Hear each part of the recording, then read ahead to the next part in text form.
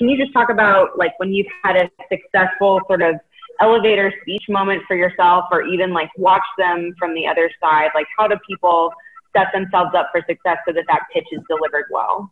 Yeah. Um, so this this sounds like a shameless plug. I don't mean it to be, but it kind of is, I guess. But that second book I showed, Top Guns Top Ten, that's that's literally what I did. I distilled what I thought were the ten best leadership lessons that I observed. When I was a commanding officer, I, I basically came up with what I called ten axioms, and it was everything from uh, number one was nothing worthwhile is ever easy, right? So it's hard work, it's dedication.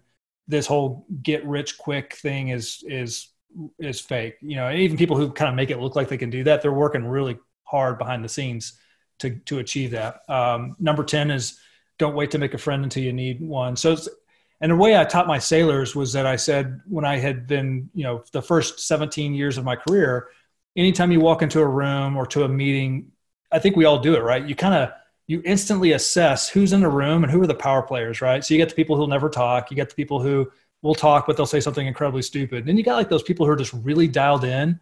And it seems like no matter what they say, everyone kind of leans forward and says, you know, what makes, so I wanted to study what makes those people and, you know, uh, unique, what makes them who they are.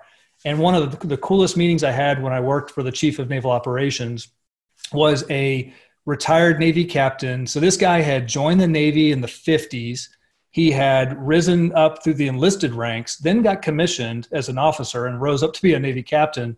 And then for the for the last 25 years, he had been the guy who's singularly in charge of assigning every single flag officer in the United States Navy, right? So, and he'd worked for Admiral Nimitz after World War II. So this guy, like, basically had seen everyone and done everything. And I asked him for two hours of his time. I sat down with him and did basically the same thing and said, "Look, you've seen every flag officer for decades so, what are those common attributes? What are the things that you've noticed about people who rise to become an admiral that sets them apart from their peers? And so he gave me a lot of thoughts, which also I, I distilled over time into those same axioms. So, I mean, great question. I think there really are uh, consistent, repeatable things that people can do that will give themselves the edge uh, to be successful. And one of my favorite quotes is, um, you know, because people say, wow, you're so lucky.